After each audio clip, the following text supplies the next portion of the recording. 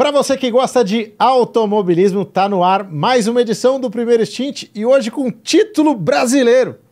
Pois é, estou aqui com o Nicolas Giafone, campeão nos Estados Unidos, começando a sua trajetória lá na USF Juniors, conquistou o título e agora vem contar um pouquinho para a gente como é que foi essa experiência e os próximos passos dele no automobilismo. Tudo bem, Nicolas? Tudo bom, Thiago, e você? Tudo certo também. Cara, que prazer te receber aqui como campeão a gente sabia do teu esforço, da tua dedicação quando você deixou o país para buscar esse sonho, que não é fácil, que o seu pai conhece também todos os, os caminhos lá, né? Inclusive as partes difíceis dele. Estou falando do Felipe Jafone. E você conseguiu dar o primeiro passo com excelência, conquistando o título logo na temporada de estreia. Te surpreendeu a adaptação rápida ou não? Era, era isso mesmo que tinha que fazer? Bom, Thiago, primeiramente, obrigado pelo convite. É um prazer estar aqui com você. E, cara, para ser sincero, acho que é, era o objetivo, né? No fundo era o objetivo, mas da forma que veio, acho que foi um pouco surpreendente. A gente teve um começo de temporada muito forte e, para ser sincero, não foi muito fácil. É, foi, foi sempre na pura, pura dedicação, na pura disciplina. É, muitas vezes duro demais comigo mesmo, mas é, era o que, é o que me faz crescer no, no final das contas. A equipe tem muito essa postura e uh, a gente conseguiu usar essa energia que a gente tinha em comum para estar tá sempre performando. Você teve uma temporada de Fórmula 4 no Brasil e foi lá para a USF Juniors. Que diferenças você encontrou tecnicamente desse, nesse salto aí? Então, o carro em si é muito parecido. O carro da, da USF Juniors era um pouco mais leve, então, digamos assim, ele era um pouco mais arisco, um pouco uhum, mais brincalhão. Uhum. O carro ele, ele gostava é, ele gostava mais de, de ficar solto, era um é, outro composto de pneu, é, outras pistas. Então a tocada acabou que mudou muito, mas no fundo eu estava evoluindo muito. Eu é, graduei para a Fórmula 4 Brasil com pouca experiência de carro. Eu tinha feito dois treinos Sim. aqui de Fórmula 3, um dia na Argentina e aí começou a temporada no Velocitar. Então é, o ano inteiro da Fórmula 4 Brasil em 2022, eu estava aprendendo e minha, minha tocada mudava muito de, de corrida para corrida. Nos Estados Unidos agora, claro, eu continuo evoluindo, mas de uma forma que agora está muito mais uh, bem preparada, eu diria. Sim, sim. Agora, teve esse lado técnico que você conseguiu se adaptar com, com, com rapidez e uh, efetivamente encontrar a sua tocada lá mas eu acredito que também o lado cultural é diferente, né? Porque, querendo ou não, você está lá num outro país com uh, os chefes de equipe estrangeiros, outra língua. Como é que foi essa, essa transição também do lado extrapista? Foi, foi esquisito no começo. Ainda mais, minha equipe é do México. Uhum. Então, todos os meus mecânicos, todos os meus, os meus engenheiros, chefes de equipe, é todo mundo mexicano. Então, é, né, é, muito espanhol falado na equipe. E, claro, as reuniões e tudo a gente faz em inglês, pelo, bem, pelo amor de Deus, pelo bem dos pilotos. Uhum. é, mas é, é, um, é um choque de cultura diferente. Uhum. Porque, por mais que são latinos também, é, é, outro, é outro tipo de... Sim, sim. Né, que eles se portam no fim de semana. E outro choque que eu tive muito foi o jeito que o americano guia e o que eles aceitam como, como guiada agressiva, defensiva. É, a primeira corrida lá eu tomei três advertências por, por causa de agressividade, uhum. e que aqui no Brasil a gente estava acostumado. Bom, eu achei que você ia falar o contrário, é, que, que, que lá a coisa é mais liberada, assim. Cara, eles têm uma cultura por causa dos ovais que é, eles, uhum. eles são muito. Eles pegam muito pesado na, na, na no, quando você defende, principalmente. Né? Eles te dão um movimento. Se você mexer o carro mais de uma vez, eles já consideram isso um absurdo. Que nos entendi, ovais faz entendi. sentido. Uhum. E eles querem uhum. instalar essa cultura desde o começo. Que você vai você... precisar lá na frente. Exatamente. Entendi. Exatamente. Entendi. Então, é, essa foi uma, uma das questões aí, se habituar também a, ao comportamento de pista ali na, Foi. com os caras. Reduzir a agressividade é sempre mais difícil. Fez alguns inimigos no caminho aí, não? Já? Ah. Tipo aquele rival que olhava, olhava você no paddock, assim, tipo... Ah. Eu tento o menos possível, é, mas acaba que... Você acaba disputando né, com alguns caras em específico durante o ano, o que acontece? Eu tive alguns encostos com alguns pilotos, mas uh, nada que tenha criado, acho que, uma rivalidade muito grande, sim, graças a Deus. Sim. É, no fim das contas é, é, é importante estar tá, tá bem também com, com todo mundo, né? E vocês vão ter tempo para ampliar essa rivalidade aí nas próximas categorias, sem dúvida alguma. É, entro nessa pergunta, aliás. É, próximas categorias. Você deu o primeiro passo, o SF Juniors. O que vem daqui em diante?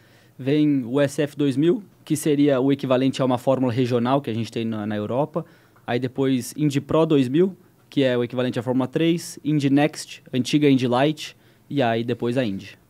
E para essa temporada da USF 2000, você já tem orçamento? Está batalhando ainda? Como é que tá? Então, a gente, a gente por ser campeão, acabou ganhando né, o que eles chamam de Scholarship Program, que é como se fosse é, uma bolsa de estudos, sim, né? Sim. É, a grosso modo, para você subir de categoria e ela fornece ali entre 60% e 70% do budget para o ano seguinte, né, da, do valor total. Então, isso já ajuda muito. Isso sim. com certeza ajuda muito, mas não é o suficiente né, para você completar a temporada. Uh, a gente, eu, eu, adorei que a temporada acabe em agosto, porque você fica de agosto até meados de fevereiro podendo procurar patrocinadores Sim. possíveis interessados, porque uh, né, diferente da, da temporada acabar em janeiro e começar logo em março ou abril. Então a gente vai ter um, um período para correr atrás que é, é, a parte mais difícil, é todo, todo o apoio que a gente tem que ter por detrás para continuar sonhando com, com um dia chegar lá. Quem são seus parceiros hoje? Quem está contigo? Eu tenho a Omni, é o meu patrocinador principal. E aí eu recebo apoio da Bell nos Estados Unidos. A HRX tem me proporcionado uh, macacão, luva, é, uh, tudo, balaclava, todos, todos os tipos de roupa anti-chamas e, e sapatilha eles me proporcionam nos Estados Unidos. Eles são, aliás, uma marca excelente. E é agora. Agora é procurar, procurar por mais. É isso. Uh, bom, aí você tem essa batalha pela frente, né, de patrocínio para fazer essa temporada da, da USF 2000. Tecnicamente, eu te perguntei da Fórmula 4 para a USF Juniors e da USF Juniors para a 2000. É um salto grande? Não. É um salto pequeno. É, o carro da 2000 é basicamente o mesmo da Juniors.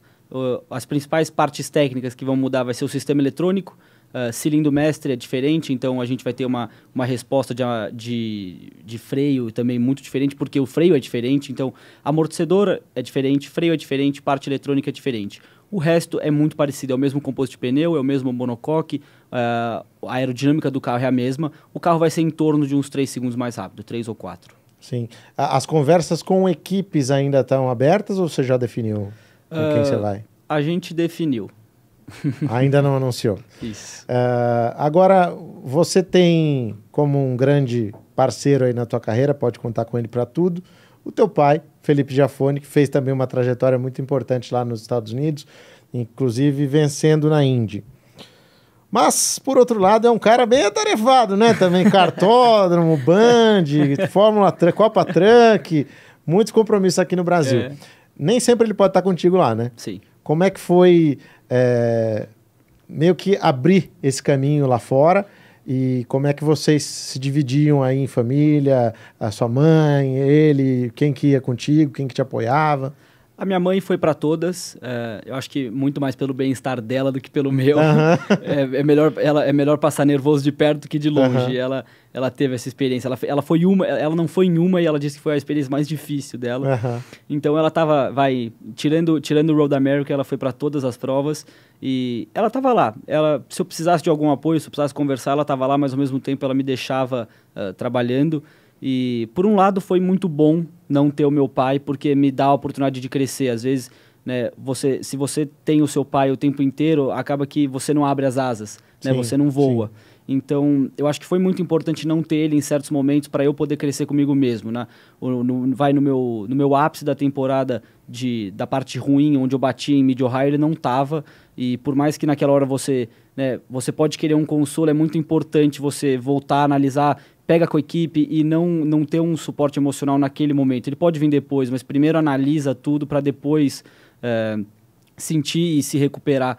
Então eu acho que foi muito importante ele não estar, tá, mas é claro, quando ele quando ele esteve foi muito gostoso também. Uhum. É uma certa independência para você crescer, Perfeito. né? É, não vou ter ele para sempre do meu lado. Exato. E, enfim, é, em alguns momentos nem vai poder, né? Chega Exato. lá no, na categoria no topo, é, fechadinho ali na sala com os caras e vamos embora. E, por outro lado, também bom, importante ter ele, especialmente nesse final aí, enfim, lá certeza, dando todo o suporte certeza. Eh, emocional também. Agora, o fato de ser um sobrenome conhecido, é, você sentiu alguma diferença, especialmente lá nos Estados Unidos, ou, ou não? Ou foi é, bem tranquilo? Porque tem muita coisa da, da, pressão, de, pô, ah, não, esse é o filho do Jafone e tal. É, ou foi, foi mais de boa? Não, foi tranquilo. Foi tranquilo. Eu não me preocupo muito com isso, para ser sincero. Eu não presto muita atenção. É, nessa parte de mídia, eu deixo a mídia, eu faço o meu trabalho. Eu acho que no fundo não, eu não posso ficar me apegando muito a isso, senão né, vem aquela voz na, na sua cabeça de que aí começa a entrar pressão, começa a entrar o tipo de pensamento que é desconstrutivo. Sim. Então eu tento evitar esse tipo de pensamento, eu estou lá para fazer meu trabalho, independente de, de quem, eu, quem é meu pai, quem é minha mãe. E, então, não, eu diria que eu peguei os positivos. Sim. Meu pai conhece muita gente, eu acabei conhecendo muita gente, fui para algumas provas da Indy e, e ter o, as pessoas que meu pai trabalhou com ainda é, na Indy e os pilotos que conhecem ele, que sabem quem eu, que eu sou pelo meu nome, isso foi tá muito vindo gostoso. mais um cara aí. Isso, isso, foi muito legal. Foi ver o que meu pai construiu, que eu não tive muito contato até sim, agora. Sim. Isso foi muito gostoso. Aliás, você falou que você não teve muito contato porque você estava comentando aqui fora do ar, você é de 2004. Isso. Então, uh, você não consegue, você não tem muita lembrança da carreira do seu pai na Indy? Pouquíssima, quase nenhuma, uh -huh. para ser sincero. Então agora eu estou realmente entendendo. Sim, sim, vendo o que ele construiu lá fora, é, né? É. É, a tua vida foi mais nos autódromos do Brasil, é. lá na, na, na, é. na, Copa Truck e na Fórmula Truck que ele é, competia. Foi mais óleo, caminhão. Diesel. É, é. É, agora, eu fico imaginando como é que foi a, a tua conversa para seguir carreira. Porque você está numa família uh, que é bastante tradicional no automobilismo, já há muitos anos, uh, puxando lá pelo Zeca Giafone, uh, vem para o Felipe, você agora. Mas, ao mesmo tempo, também uma família que já viveu seus momentos difíceis com o próprio Felipe lá na Índia, um acidente gravíssimo, né? enfim, que, que, que quase colocou, praticamente colocou fim na carreira dele, né? É, como é que foi convencer os seus familiares de que esse era o caminho que você queria mesmo e que seria uma boa ideia andar de, de carro de corrida? Olha, demorou muito para o meu pai entender que eu estava fazendo isso porque era realmente o que eu amava. É, ele tinha muito, muito medo de eu fazer uh, esse esporte, de eu praticar o automobilismo e, e querer seguir carreira porque é o que ele seguiu, porque é o que a família é, né, respira, é o que a família trabalha e é a principal paixão. Então, por muito tempo, ele foi até um pouco. Uh, ele um, não, não diria contra, mas ele não incentivava eu, eu a correr porque ele queria ver se era isso mesmo que eu queria. Só que quando ele percebeu que ele, querendo ou não, eu estava lá no cartódromo, quarta-feira, sexta-feira, uhum. andando, e aí depois que veio a oportunidade da Fórmula 4, eu agarrei e tive esse ano de vai ou racha nos Estados Unidos, uh, aí ele entendeu que era isso mesmo. Foi no começo do ano, não, minto, no final do ano passado a gente teve essa conversa, né, meu? Será que vale a pena? Será que não vai? A gente conseguiu a Omni e aí quando conseguiu a gente falou, tá bom, vamos, vamos, você vai ter um ano para ser o seu vai ou racha. Sim. Se for campeão, a chance de você ficar nos Estados Unidos é muito alta. Se não for, volta para cá, a gente faz stock light, faz, faz faculdade e, e assim será. Então foi muito preto no branco, é isso ou é isso. É, e você tinha essa cobrança pessoal, então também de, de entregar resultados já nesse, nesse primeiro ano. Muita gente diz que escolhe o caminho dos Estados Unidos porque é mais fácil, ou escolheria o caminho porque é mais fácil. Não em termos técnicos, é, nem de nível de piloto, nada disso mas em termos de política do esporte mesmo, né? Porque você tem aquele incentivo que, que você mesmo mencionou, que você tem eh, o scholarship, aí, a bolsa para subir de categoria, você tem um compromisso de é, fazer esses jovens talentos chegarem até lá no topo do esporte, né? ou terem pelo menos a chance de, de bater na porta lá, falar, tô aqui, é, coisa que você não tem na Europa. Na Europa, já desde o início, a vaga da pior equipe já é para conseguir, já é uma política desgraçada, precisa é. conhecer não sei quem, tá prometido é. para não sei onde é, é muito complicado. Você escolheu por esse motivo, por ser um caminho é, mais simples nesse sentido, ou porque você realmente curte o automobilismo americano? Você quer Indy? Ah, eu, eu chego em casa, tem, tem os troféus dos Estados Unidos do meu pai. Não, tem, não tem como não me apaixonar por isso. Eu vejo as corridas dele no passado. É, se você perguntar para o Fefo, ele vai falar que é a Fórmula 1. É claro, a gente se espelha né, no, nos nossos pais.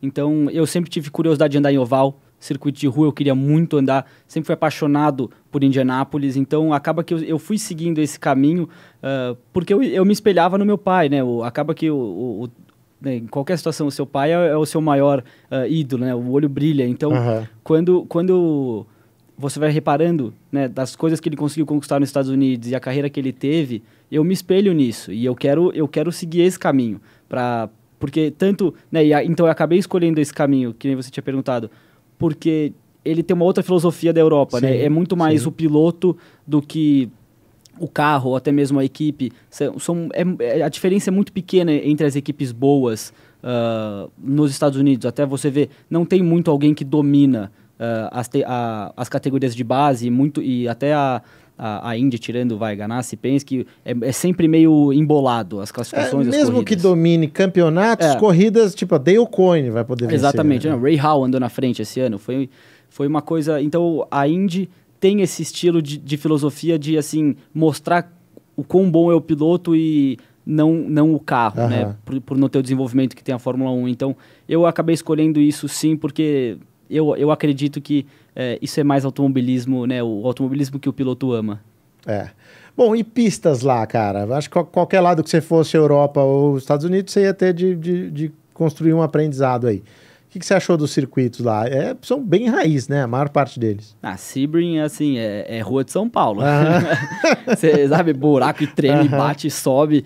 Então, é, sim, tem, muito, tem muitos circuitos raiz, assim, só que tem alguns que são excelentes. Barber é um tapete, por exemplo. Sim. Uh, Road America, tapete. A gente andou em Cota da Fórmula 1 também, lindo. É, um, um, dos circuitos mais bonitos que eu já fui, apesar do calor, que estava insuportável. É, foi, foi muito legal. Então, são circuitos muito, muito bem cuidados, só que tem uma, são diferentes. Normalmente são circuitos muito grandes, bem largos e, dependendo da situação, até para nossas categorias, um pouco uh, interessante, diria até perigoso, porque os carrinhos são muito pequenos, vira corrida de cadete, com sim, vácuo. Sim, e, sim. Então é, é, é, bem, é bem legal. Eu gostei muito, tô louco para andar em circuito de rua ano que vem e oval. Uhum. qual você gostou mais desse, do calendário desse ano? Olha, é, eu diria que Mid Ohio foi uma das minhas favoritas. Mid subidas e descidas. Nossa, aquela, né? Me lembrou um pouco da Granja, da, do uh -huh, da Granja. Legal. Foi muito legal. É, cota, com certeza, está na minha lista. Aquele, aquela, aquele setor 1 de cota com os S é muito gratificante quando você acerta Sim. ele de uma forma legal. E, claro, eu vou, vou ser completamente biased aqui. É, uhum. Barber foi uhum, excelente, uhum. excelente. Foi, acho que, a, a pista com mais grip que eu guiei. A sensação de ter aquele grip da Fórmula Indy foi Sim. muito legal. A Barber é aquele que tem a, a aranha, né? Lá no Exato, meio da, da pista. Exatamente. É um visual também espetacular. Incrível. Uh, vocês não correram junto com a Indy, certo? Só em Barber. Só em Barber. Isso. É, o ano que vem, o calendário com essas outras pistas, vocês andam junto com eles? Coincide mais. As, os circuitos Sim. de rua coincidem, que são St. Pete e Toronto. Uh, enquanto eles correm a Indy 500, eu corro é, em Lucas Oil, que é Indianápolis, é seis minutos da, da pista principal, então no, no, é no mesmo fim de semana, não é o mesmo evento, vai mas é o legal. mesmo fim de semana vai que vai poder estar tá lá também. Exatamente, que vai ser muito legal. E acaba que tem um ou outro, sim, que coincidem mais. Acho que o Road America esse ano coincidiu, se, se eu não me engano. Então a gente tá, tá mais. Ah, bom, e Mid Ohio coincidiu também. Sim. Então a gente tá, tá mais próximo. Faz diferença? Tá no ambiente da, da Indy e numa etapa solta do calendário? Uh, em questões de guiada faz. O, a, a Indy muda completamente a pista, porque são, é um composto de pneu muito diferente do que a gente usa. Então, uhum. Então, a pista muda completamente. Em questão de estar tá mais com a Indy, não. Eu uhum, acho que não. Uhum. Entendi, entendi. Mas nessa questão da, da, da borracha, realmente é. precisa estar tá, tá atento para o que, é. que vai rolar ali. E como se preparar para essas pistas, cara? Porque não tem treino, imagino teste da categoria à vontade. É. É, então, como é que você se prepara para um, um fim de semana de prova? Ou para uma semana de prova, né? Porque lá também tem isso, é culturalmente diferente. Você tem provas às quintas, enfim. Sim. Cara, eu, eu faço bastante simulador, é uma coisa que eu gosto bastante. E, porque, né, como você falou, hoje em dia não tem muito treino livre, então é, você tem que chegar lá e em três voltas tá, tá performando. Então, Uh, eu gosto muito de fazer simulador, eu gosto de analisar onboards antigas e eu gosto de sentar com os engenheiros uh, antes e depois de cada sessão para a gente ficar olhando detalhe por detalhe para ter certeza que não deixou nada passar. Uhum. É, é, uma coisa que eu gosto muito e ver corrida. Ver as corridas antigas é, é fundamental. Ajuda. É. Você falou é, dos dois circuitos de rua da próxima temporada, St. Pete e Toronto, Toronto. Uh, no Canadá, belíssima pista também. E falou que está ansioso para andar nos ovais. Quais serão os, os, ovais que você lembra, assim, que você vai Infelizmente, vai só Lucas Oil. Só Lucas Oil. É. é. o carro da, da 2000 eles não colocam em nenhum outro oval porque por questões de segurança, acredito eu. Não é feito para oval. É. é. Então é um oval bem pequeno, é meia, um pouco mais de meia milha. é, é uma corrida de 75 voltas e a única corrida da temporada que vale pontuação é de 1.5, vai. Normalmente a pontuação é para 30 e é, a pontuação é de, vai, é de 1.5 para para o grid Sim. inteiro. é, então é a, é a prova que mais vale ponto. Indianápolis na Indy também, né? Acho que é dobrada, É. não sei, alguma coisa assim. Então, para vocês também tem essa pontuação a mais. É a etapa mais importante, então, Exato. do ano. Ah, pelo menos de, de, de peso, né? De, É. de resultados. Agora, e oval? Como se preparar para oval? Porque simulador em si, eu acho que não, não, não é a mesma coisa de um circuito misto. Tô certo? É diferente. É diferente. O, o oval, no fundo, dá para vocês preparar um pouco, eh, olhando data, olhando, fazendo simulador, né, olhando vídeo. Só que a sensação de estar lá e entender mesmo a dinâmica de andar no oval, acho que é, vai ser muito estando presente. Eu vou ter dias de teste em oval, então isso vai ser muito, muito importante, porque eu diria que né, da, da USF Júnior para 2000 eh, é o passo maior quando a gente fala de pistas, porque a gente só andou em pistas vai, normais, entre aspas. Sim. Agora a gente passa a andar em ruas e ovais e a partir da 2000 vai andar sempre em rua e oval. Então, eh, a- esse é o maior passo e é o ponto onde eu, eu acho que eu preciso me dedicar mais, porque eh, eu preciso evoluir nas outras, é claro, não estou longe de, de ser um piloto eh, perfeito. Eu tenho muito que evoluir nas pistas que eu corri esse ano, inclusive eu já, já tenho marcado, mas a maior diferença vai ser a adaptação dos pilotos novos na, na onde a gente não corria esse ano. Sim. E, e quando você fala de testes em oval, você vai poder testar com o carro da, da 2000 ou vai ter que, enfim, inventar alguma moda aí com outros carros, Não. enfim? Posso andar com, com o carro da 2000. Ah, legal, legal. Isso ajuda bastante também o, É. Muito, o novato, né? muito, Acho muito. que, enfim. E para esse ano, você também entra com um compromisso até aí de carreira de, de ganhar já no primeiro ano, é, até por, por questão financeira, ou, ou você tem um planejamento mais longo prazo? Porque geralmente os pilotos falam, ah, vou disputar o primeiro ano para me ambientar e o segundo é para tentar ganhar. Tem isso também para você ou não? É já logo de cara já partir pro pé na porta? Meu pai me deixou muito claro que eu não tenho esse luxo. É, principalmente por questões financeiras também. Então, a gente tem que estar competitivo desde o começo. Eu, eu vou me esforçar, continuo me esforçando o máximo para ter a performance que eu tive esse ano e ainda melhor para o ano que vem. Então, eu diria que é, é pé no porão e, e tentar Aham. ser competitivo desde o começo. Você está morando no Brasil. Tô morando no Brasil. Pensa em mudar para lá? Quando, quando virar uma necessidade, eu, eu vou sem problema algum. Se, tiver que, se eu tiver que me mudar pela corrida, eu vou fazer com o maior prazer. sim. Hoje não é necessário porque o calendário é muito comprimido ali, enfim, você consegue fazer, vai e volta, É. não interfere na tua vida aqui, até escolar, enfim. Não, não. São, esse, esse ano foram seis eventos. Eh, dei sorte que os testes caíram alguns no carnaval, alguns nas férias, então não perdi tanta aula. E então é, eu consegui, consegui conciliar morando no Brasil. O ano que vem eu preciso do meu calendário completo para entender Aham. como eu vou me organizar. Mas a princípio foi, foi um ano bem consistente, assim. Por que, que o calendário nos Estados Unidos é tão mais é, concentrado do que, por exemplo, o cara. Tudo bem, a Fórmula 3 também, né? Começa lá em março, termina em agosto. Mas de qualquer forma, o, o automobilismo americano, mesmo a categoria top, mesmo a Indy, ela é muito concentrada, né? Você encontra uma, uma explicação para isso? Condições climáticas? O que, que você acha? Então, é uma boa pergunta. Eu, sei que condições climáticas entram porque tem muitos lugares como Road America que nevam, então eles precisam correr lá antes. Só que a, a Fórmula Indy não tem uma parada muito grande no meio do ano igual a, a Fórmula 1. Então, Sim. acho que eles fazem s- de uma forma mais corrida, só que aí as férias são, são mais longas no final e não tem uma parada no meio. Eu acho que é questão de preferência. Para ser sincero, não, Sim, não sim, sei por que isso sim. acontece. É curioso isso, porque em setembro a Indy já, já terminou. É. A gente está aqui, já não tem mais corrida da temporada da Indy, só vai recomeçar lá em, Para em nós é março. perfeito. É, você consegue. A ansiedade você falou do patrocínio é. também. Tem, é uma época muito é, importante aí para captar esses recursos, Sim. né? Então, é, mas é curioso esse- essa diferença né, do, do calendário da Indy para os demais. Sim. Ídolos lá no automobilismo amer- americano, quem que você ah, observou aí crescendo e, e- e vendo como caras que podem te inspirar a ter uma, uma grande carreira lá? Cara, eu tenho, tenho alguns caras que eu gosto nos Estados Unidos. É, eu, eu, não, eu falo assim tranquilamente, o Dixon é o, é o que eu mais Fera, olho. fera. É, principalmente, meu pai me fala da forma que ele guiava na época que eles estavam de Indy Light, na forma que ele guia na Indy. Esse cara chegou na e... Indy com 20 anos de idade, é, se não me engano.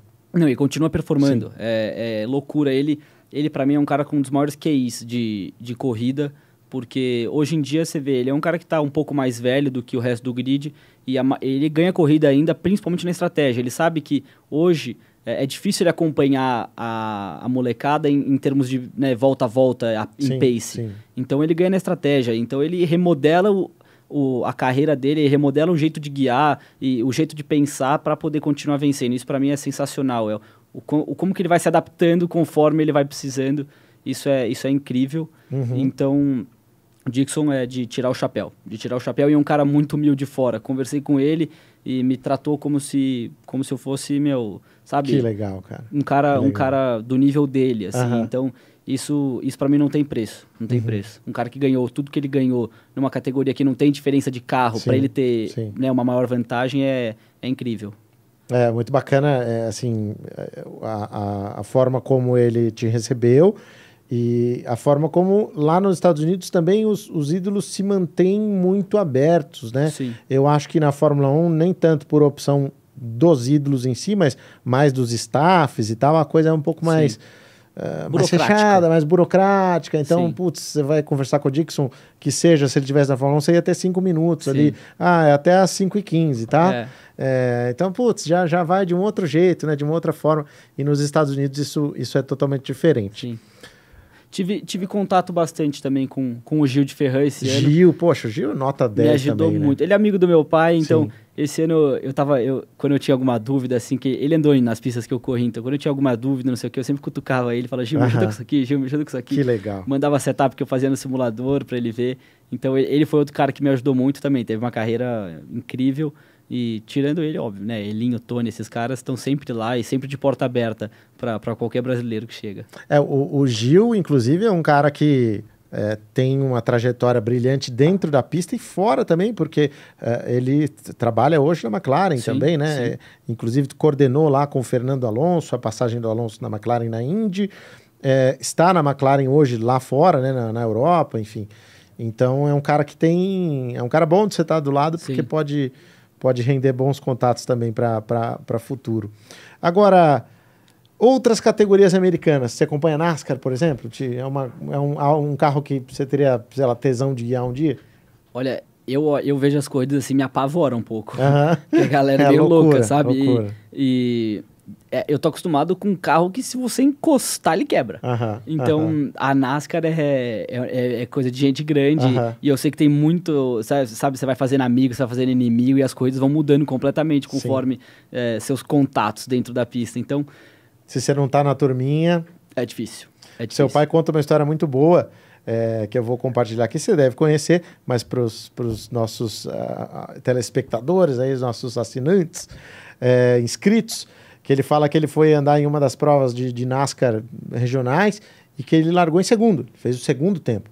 Ele falou, pô, é isso, vou me manter aqui em segundo e vai ser lindo, vou chegar no final, não preciso nem ameaçar o cara que está na minha frente. Só que é isso, é o clubinho. É. Ele não estava no clubinho. Então teve um momento que ele estava ali, seguindo o, o, o, primeiro colocado, que o primeiro mudou de, de linha, ele não mudou, todo mundo colou no, no, no primeiro, e caiu para último. É Nunca mais foi visto. É. Então é isso. É, é, é se você não está ali bem é. ajustado com todo mundo, esse clubinho é, complicado. Mas deve ser interessante. É interessante, deve ser interessante, deve ser interessante sem dúvida alguma. Eu vejo também, né, IMSA. É, esses carros esses carros são muito muito legais eu vi de perto é, é, assim eu, eu teria o maior prazer de guiar ele se, se eu tivesse a oportunidade agora eu vou te fazer uma pergunta de uma, de uma experiência bem louca que você trocou de papel aí com o seu pai com o truck, né? é verdade. O que, que, você achou, cara? Ah, é outro mundo. É insano, Não, né? não tem, não é um carro de corrida aquilo uh -huh. e quem fala que é não guiou um carro de corrida ainda. O, o truck é, é outra pegada, é completamente outro tipo de mentalidade de cabeça.